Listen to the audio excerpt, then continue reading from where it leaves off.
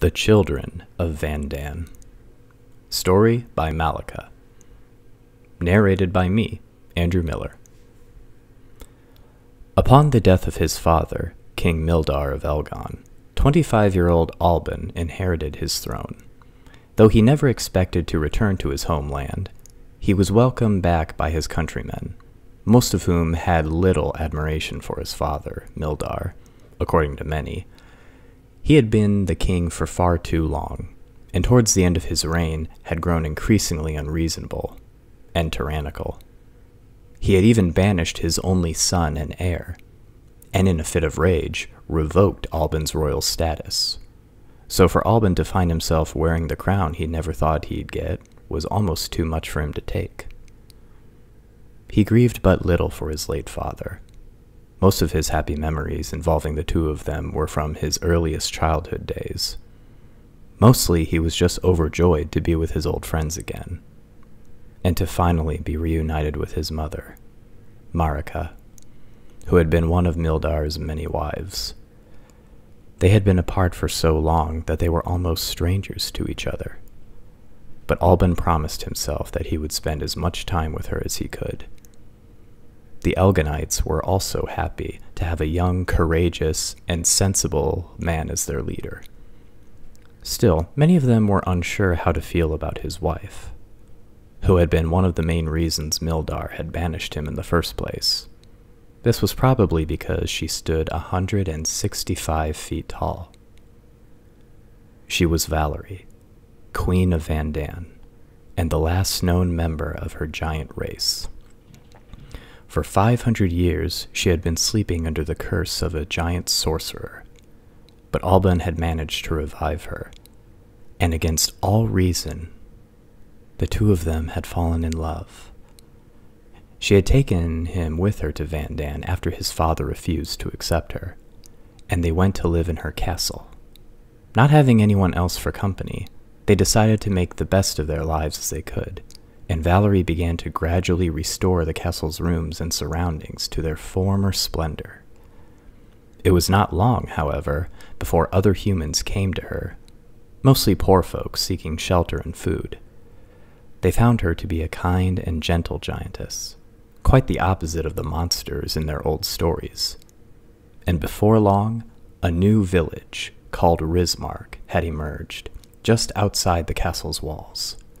More and more people came, and by the time Alban had become king of the neighboring land Elgon, several thousand men, women, and children had settled in Vandan, and Valerie could rightfully call herself their queen. Now that husband and wife each had their own domain to rule, they decided that the two lands should unite under their common leadership, and that the same laws should apply to all inhabitants.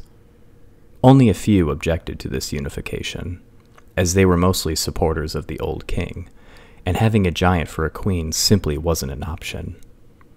In the end, they decided to simply leave the land, knowing that they wouldn't be able to face both Valerie and the hundreds of soldiers who were loyal to her.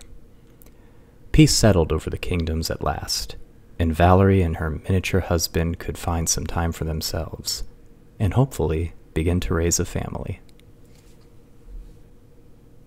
Their first child came when Valerie was 23, two years after the unification of the lands. It was a baby girl, and they named her Belena.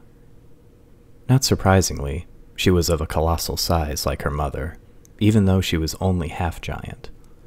Valerie had to raise her all by herself for a few years, until the girl was old enough to realize that the little creature she was clutching in her hand was her father, and not some sort of toy but she managed it, and Princess Belena, upon the age of five, received the title of heir to the two thrones.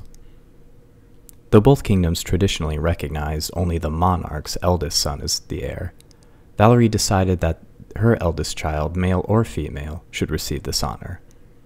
No one could come up with a good argument against her decision, and it was soon acknowledged as law. Just over a year after Belena came into the world, the queen gave birth again, this time to a son. Unlike his sister, however, little Prince Valden was merely of normal human size, like his father, Valerie didn't even know she was pregnant with him until a week before his birth. She'd felt a tickling sensation in her belly, which grew stronger daily, and she'd realized she was carrying a baby not a moment too soon. The birth was an extraordinarily delicate procedure, since she could have easily have crushed her newborn son to death between her legs without even realizing it. Help was at hand, thankfully, and the pair of midwives, overwhelmed by the whole experience though they were, presented the little boy to his overjoyed and relieved parents. At the time of his birth, Valden was small enough to fit on his mother's thumbnail, and she had to exercise the utmost restraint whenever she held him for fear of hurting him. But she quickly learned how to take care of him properly, and she was glad that Alban was able to help her this time. Three more years passed before the royal couple had their third child. It was another girl, and once again she turned out to be giant sized. She received the name Isilvine, though everyone soon began calling her Sylvie. Now that Valerie had two gigantic daughters to look after, she decided to leave more and more of her country's management to Alban, and to the men who she had appointed the governmental roles. To the people of Vandan, however, she was still their leader, their protector and benefactor, and she always kept the good relationship she had with her subjects. Apart from these concerns, Valerie still had a castle to maintain, as well as orchards and vegetable gardens, her only inexhaustible food sources. In addition to protecting the townsfolk from attacks by marauding bands of ogres, bandits, other assorted enemies, and the occasional giant bird or animal. Alban was able to help with some of these tasks, as were her servants and attendants, and her army, so that in the end, she managed to cope reasonably well with the demand of her position as queen. She was beginning to tire of her responsibilities of being a monarch, however, and looked forward to the day when Belena was old enough to succeed her as queen. Twelve year old Belena began that morning like any other, by reading. She suspected that it wasn't quite normal for a girl like her to spend so much time buried in her books, but she couldn't help it. Her life was enjoyable, of course. She was a princess, after all. But it didn't seem quite as eventful as the lives of the characters in the stories she read. An unknown giant scribe had centuries ago collected a vast amount of tales from throughout the human and giant lands, and to Belena's delight, most of these books had survived undisturbed in the castle's vaults and libraries. She much preferred to read stories from human authors, even though they always portrayed giants as cruel, malicious, and bloodthirsty freaks. But most giants she knew really had been aggressive towards humans, and her mother had told her that humans used to be tortured and even killed in ghastly ways right within these walls.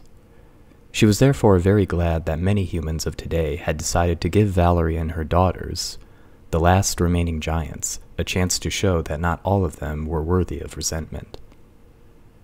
These thoughts had diverted her attention from the book, and she put it aside and got out of bed. It was a Saturday, which meant that she did not have any school lessons, nor did she have to spend hours working in the garden. Why don't I take a stroll down into town today? She said to herself as she got dressed. I'm sure Mom and Dad will let me go alone. I have to be old enough by now. She slipped on a royal violet dress, with a matching girdle around her waist and shoes on her feet. It was important to look like a princess, she thought, even if she was a 150 feet tall and larger than most of the fearsome creatures in her stories. People had to see that there was no reason to be afraid of her. She was only a little girl, after all. She brushed her long, flowing hair and held it in place with a band. Unlike her parents and brother and sister, she had hair of a darker reddish color. This she had inherited from her human grandmother, who had passed away less than a year previously, and whom Belena never got to know very well. Presumably, the old woman had been too taken aback by the idea of her granddaughters being taller than the greatest trees, or else she might have been more accepting of them. Belena ne- was never one to dwell on the past, and she figured she had better go and get to know the people as soon as possible. Before everyone but her family ends up completely alienated from her. Breakfast was no different than any other day, except that Valden said he was feeling a bit ill, and requested to go and lay down after he'd eaten what little food he could. Belena carried her little brother back to his room, built in a hollowed out section of the thick castle wall. Normally, he'd have to climb 40 feet of steps to reach his door.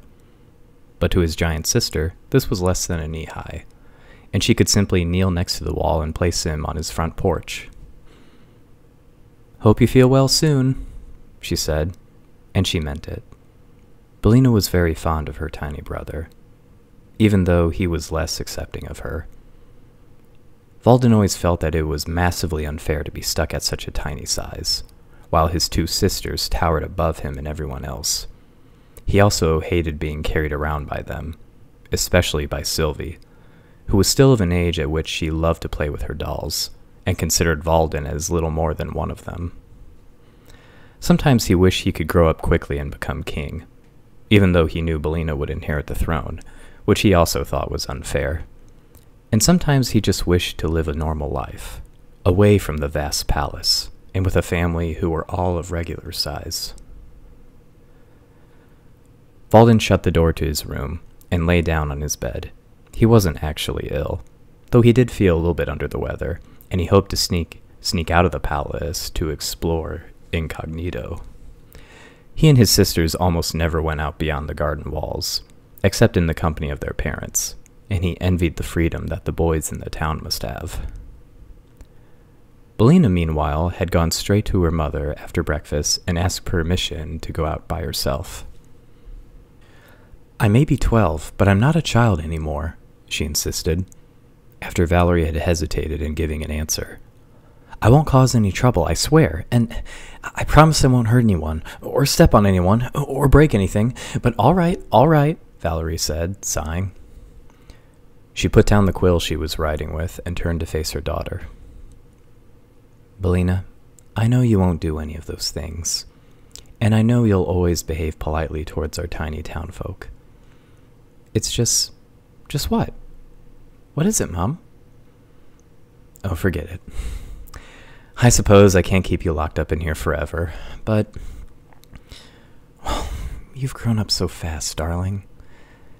And I sometimes can't help but think of you as a little girl who used to sit in my lap every evening and listen to me read a story. We can do it tonight if you want, Belena said, eager to please her mother, even though she also knew she had long ago lost interest in that activity. no, it's all right. I was just being silly, that's all. You go out and have some fun. Only be careful, she called, as Belena had already begun to make a dash for the door. She halted and turned back uncertainly. I know that nothing can hurt you out there, Valerie continued, but there's still some people who have a, shall we say, less than favorable opinion about giants, especially giant young girls.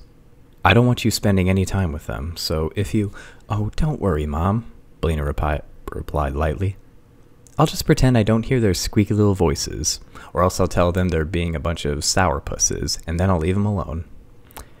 That's right, Valerie said. Daddy and I have raised you well.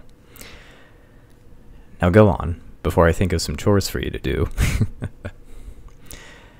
At the castle's front gate, Belena halted and considered where she should go to go first. Down at her feet, the gate guards bowed respectfully to the princess. She didn't know these men at all, though she knew that Valden liked to hang around them sometimes, so she simply smiled politely down at them. Resisting the urge to pick one of the guards up to talk to them, she carried on, and headed toward the town of Rismark. Though she could see it clearly from the castle windows, it looked quite different than it did now up close. It was roughly circular, about a thousand yards in diameter, and was surrounded by a 30 foot high wall of stone and wood. Several thousand people lived there, in homes of various sizes, and from the town center there stretched outwards six very broad streets for the queen to use when she wished to visit.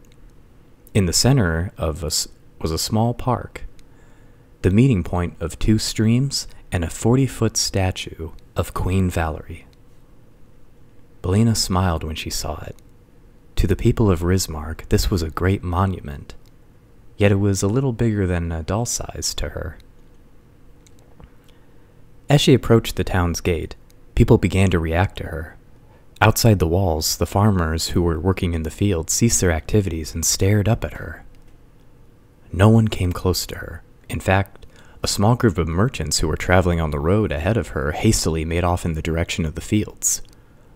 She made no attempt to head after them, and carried on along the road until she reached the great gate. The guard stationed on the wall watched dumbstruck as she knelt down before them, before, real- before realizing that they should probably bow before her. Good morning, she said, and they cautiously lifted their heads. May I, you know, come in? I just want to take a look around. Uh, um, one of the guards answered. I- am dreadfully sorry, Your Royal Highness, but but but we, well, the Queen told us. Oh, don't bother about that. Billina laughed. My mom gave me permission to visit. So I guess that means you will do so too, right? Uh, yes, yes, yes, of course. you may enter, Princess. We'll open the gate right away. Not necessary, she said, and stood up again. Then she lifted up the bottom of her dress and easily stepped over the little gate. A part of her skirt got caught on one of the guard towers, but she unhooked it before she accidentally pulled the entire tower to the ground. She waved to the soldiers on the wall, who were still a little anxious, and then turned her attention to the town before her. The reception Billina got surprised her quite a lot. She had expected the inhabitants of Rismark to either flee from her in terror or fall down before her in obedience.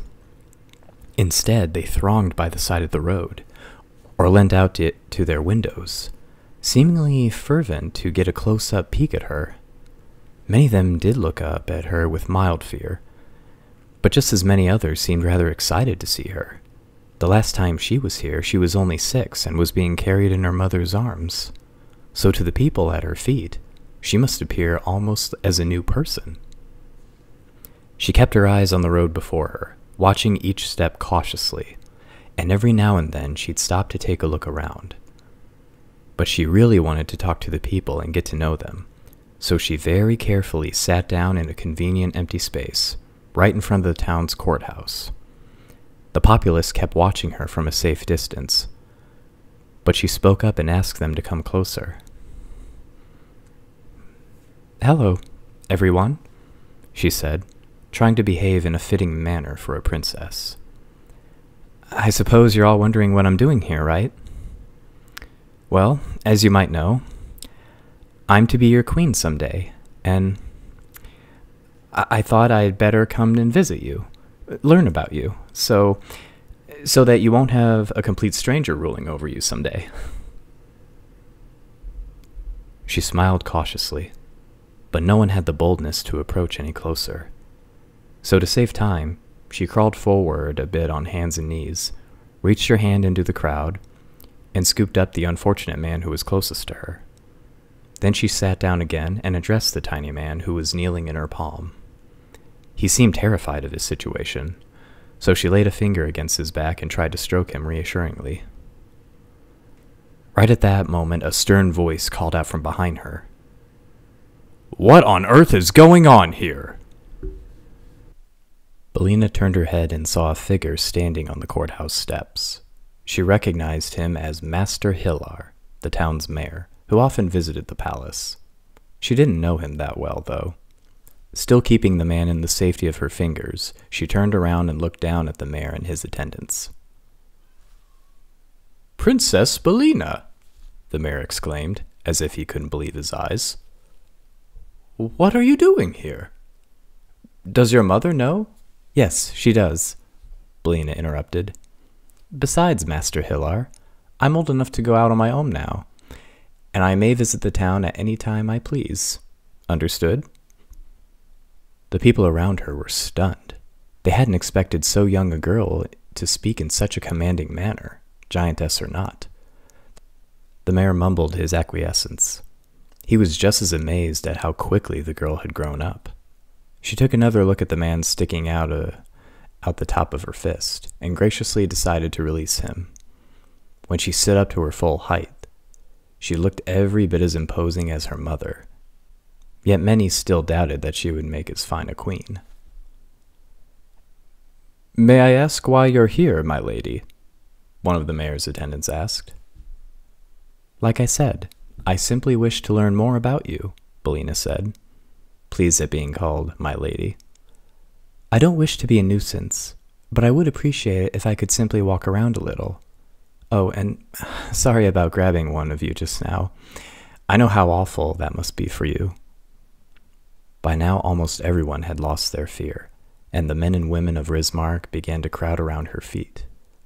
They all seemed to try and touch the bottom of her gown, and a few of them even began to climb, until they saw her giving them an angry look.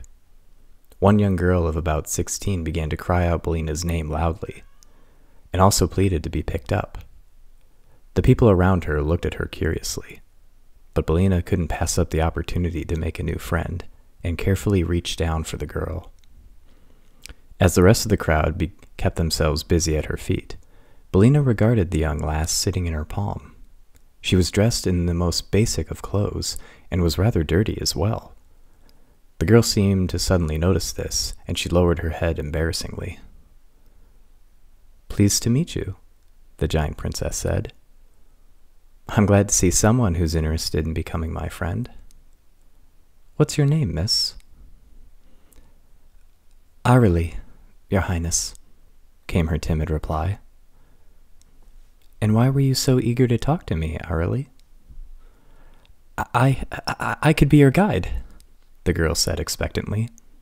I could show you around town, and we can talk, and only if your highness wishes to, I mean.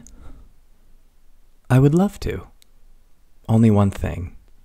If we're going to be friends, you'll have to start calling me Belena. I hear your highness so many times, I'm beginning to forget what my real name is. She put Arily on her shoulder, where she, prompt, where she promptly got entangled by Belena's 40 foot long hair. She tugged on the strands that were hanging all around her and managed to hoist herself up to Belena's ear. Holding on as fast as she could, she began to tell her giant companion where she thought they were going to go first. Belena, however, wanted to visit the park first, so Arily slid down and landed on her shoulder. They reached the park in a few seconds, but Belina saw something else that caught her attention.